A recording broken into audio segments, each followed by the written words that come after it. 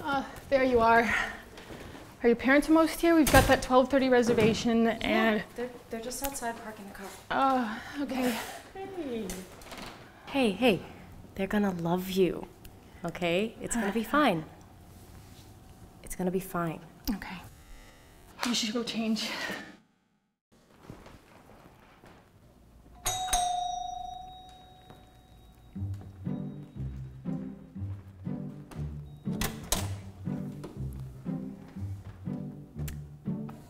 Um, I think you guys actually might be looking for apartment 4B down the hallway. No, where? Oh, uh, absolutely. Uh, come on in, please. You must be the roommate. We've heard so much about you. I've heard plenty about you guys as well. Please, I'll get you something to drink.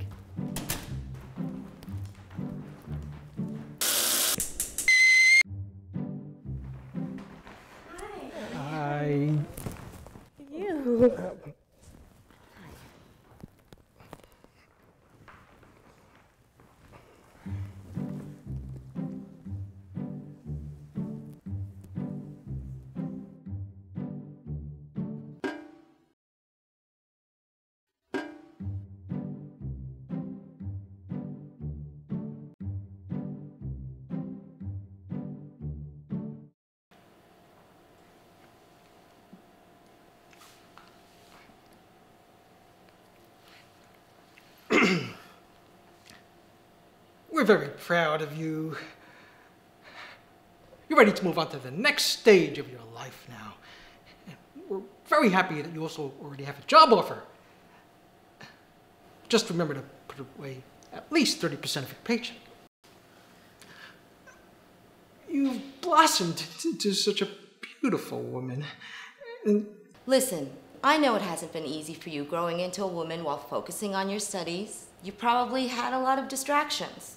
You've probably dated. You've probably had sex. Safe sex, I hope. Just make sure you always use protection. well, the safest sex of all is saving yourself for marriage.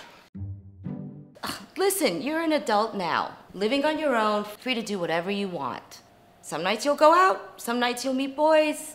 Just don't rely on them for the condoms. Make sure you have some in your own stash. but only to use in a committed relationship with the right man. Wow. Well, um, the thing is, I am in a committed relationship.